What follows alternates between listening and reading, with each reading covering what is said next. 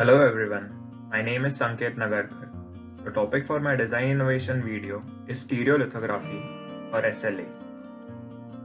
In this video, I will talk about a general introduction and history of stereolithography, followed by how it works and why I think it is innovative.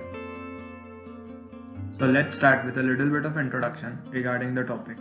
There are three basic classifications in manufacturing processes. There is additive manufacturing, subtractive manufacturing, and formative manufacturing. Stereolithography comes under additive manufacturing category.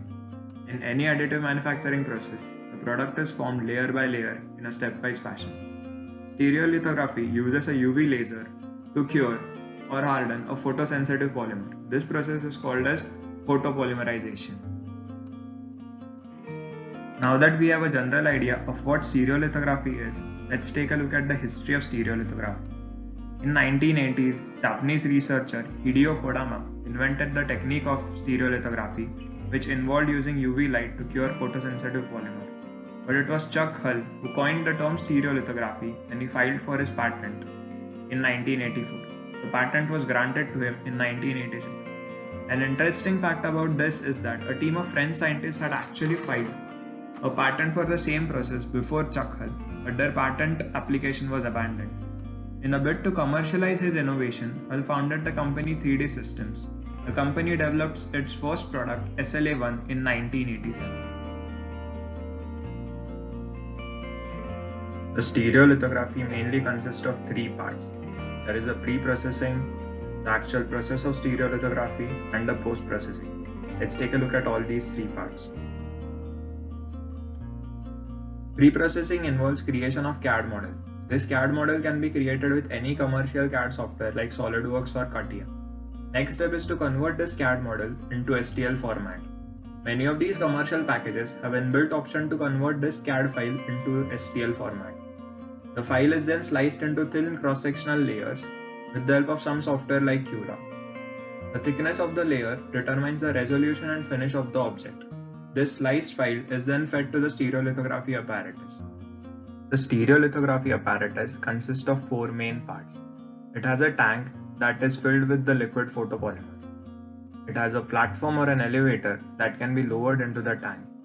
It has an ultraviolet laser. And lastly, it has a computer that controls the motion of both the platform as well as the laser. The computer also stores the CAD model of the file which is to be printed. The video describes the working of a stereolithography process. In the initial step, a thin layer of photopolymer or a resin is exposed above the platform, where the laser hits the platform, painting the pattern of the object being printed. The resin hardens instantly when it comes in contact with the UV laser, forming the first layer of the object. The computer will direct the laser according to the geometry of the CAD file. We can see in the video that the laser is printing both the support structures and the part geometry of the object being printed. Once the initial layer has hardened, the platform is lowered as shown in the video. A recoater blade moves across the platform to apply the next layer of resin. The laser again traces the next cross section of the object which instantly bonds to the previous layer. This process is repeated until the entire object is formed.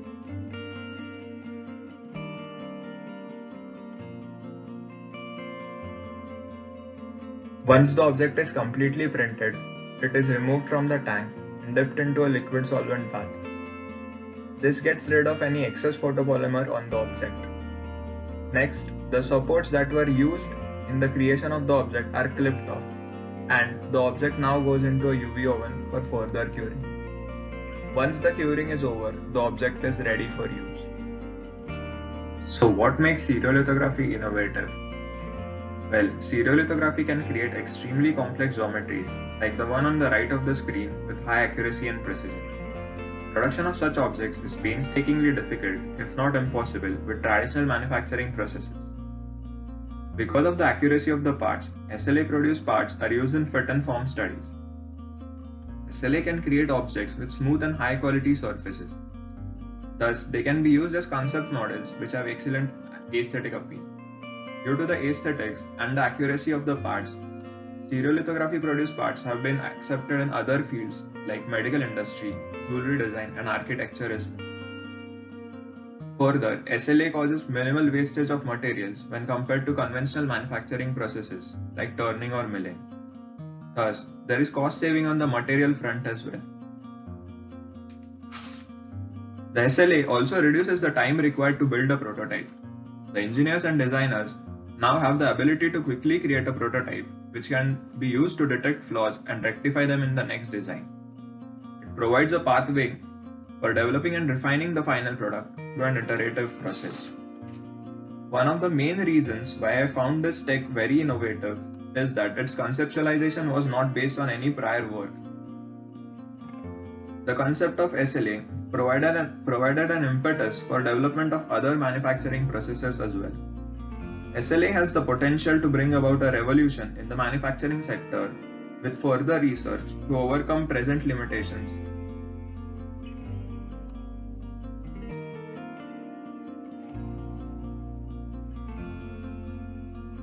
These are the references that I've used for my video. Thank you for watching.